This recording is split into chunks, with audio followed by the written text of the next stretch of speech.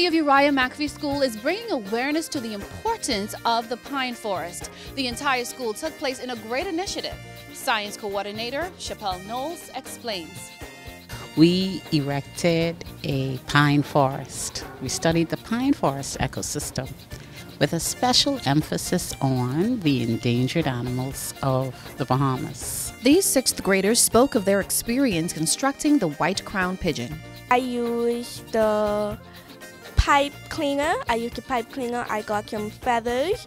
I used cardboard to trace it out and hot hot glue to just put my piece together and use paper. I used the paper as the base and then I sprayed it with a can that does silver and then we covered with covered it with feathers. And on the top we also had a can at home which is like sticky glue and if you spray it a lot it kind of did the white crown. And what advice do they have for their peers?